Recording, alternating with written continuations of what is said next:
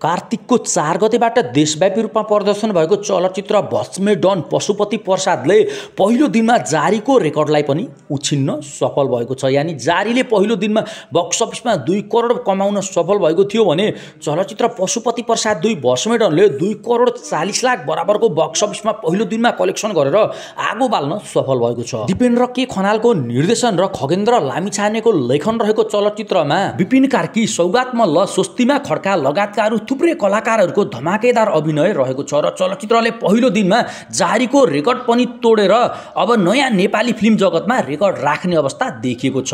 हेरिसकेका दर्शकहरूले पनि एकदमै राम्रो छ भनेर प्रतिक्रिया दिइसकेपछि चलचित्रले हिजो र आज पनि चलचित्र जगतमै सबैभन्दा ठुलो धमाका नमचाउला भनेर भन्न चाहिँ सकिन्न। र चलचित्रले पहिलो दिनमा दुई करोड चालिस लाख कमाएको छ भने हिजो शनिबारको दिन पनि एक करोड पचास लाखभन्दा माथि नै बक्स अफिसमा कलेक्सन गरेर धमाका मचाउन सफल भएको छ भने आजको दिन पनि एक करोडभन्दा माथि नै बक्स अफिसमा कलेक्सन गर्ने अनुमान लगाइएको छ।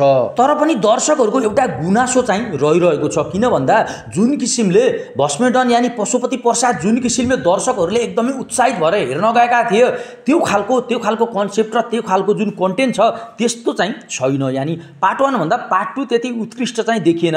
पार्ट वानकै कारणले पार्ट टू हिट भएको भन्ने धेरै तर्कहरू पनि आइरहेका छन्। त्यो त अब दर्शकहरूलाई नै थाहा होला। पार्ट वान राम्रो छ अथवा पार्ट टू राम्रो छ भनेर। दुई हजार असी साल लागेपछि लोदर लागेको विपिन कार्कीको जुन अभिनय छ त्यसलाई पनि यो चलचित्रले माथि उठाउन मद्दत गरेको छ भने स्वस्तिमा खड्कालाई पनि बेसरी लोदर लागेको थियो। जति नै राम्रो खेले पनि दर्शकहरूले मन पराउँदैनन्। त्यसैले उनी पनि हार खाइसकेकी थिइन्। तर अब भस्मेडनले यी दुईजनै कलाकारलाई माथि उठाउन मद्दत गरेको छ। र यदि तपाईँहरूले पनि चलचित्र पशुपति प्रसाद दुई भस्मेडन हलमा गएर हेरिसक्नु भएको छ भने कस्तो लाग्यो कमेन्ट बक्समा गएर प्रतिक्रिया दिन चाहिँ नबिर्सिनु होला र भिडियो मन पऱ्यो भने भिडियोलाई लाइक गरी च्यानललाई सब्सक्राइब गर्न पनि नबिर्सिनु होला